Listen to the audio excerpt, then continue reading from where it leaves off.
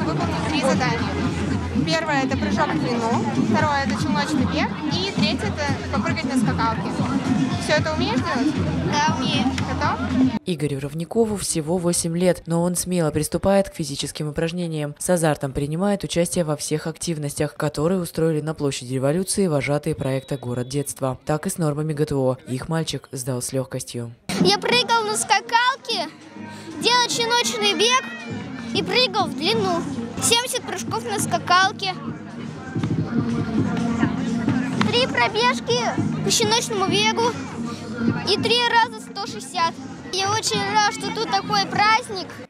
Рядом бросают необычный мяч овальной формы. Это американский футбол, необычные правила и экипировка. Вячеславу Лепихину 16 лет, а он уже в совершенстве владеет техникой броска. Секрет в регулярных тренировках. Перекидываемся туда и обратно, при этом учась ловить и кидать.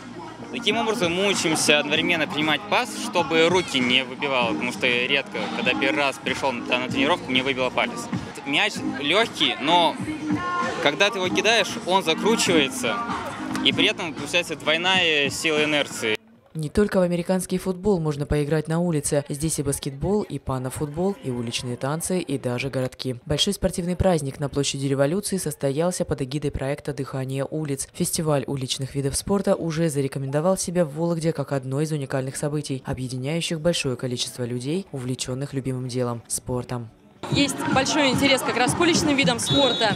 И этот проект как раз а, позволяет их популяризировать и делать да, наиболее популярными, масштабными. И э, поэтому, конечно же, без сомнения, мы эти праздники будем проводить. И э, сегодняшний праздник показывает то, что площадок много, общественных движений много, и спортивных направлений много, которые хотели бы себя показать.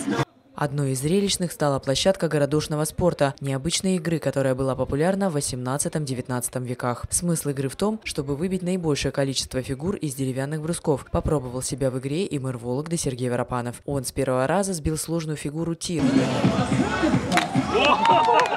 Именно по инициативе Сергея Воропанова проект «Дыхание улиц» отныне станет круглогодичным. Мы проводим э, проект «Дыхание улиц» теперь круглый год, и в этом году э, зимой будем проводить. Э, мы уже, наверное, четвертый раз только за лето собираемся на площади революции, и мы постоянно находимся в поиске, постоянно ищем новые виды спорта, которые можно проводить здесь на улице, привлекаем для занятия спортом ребят.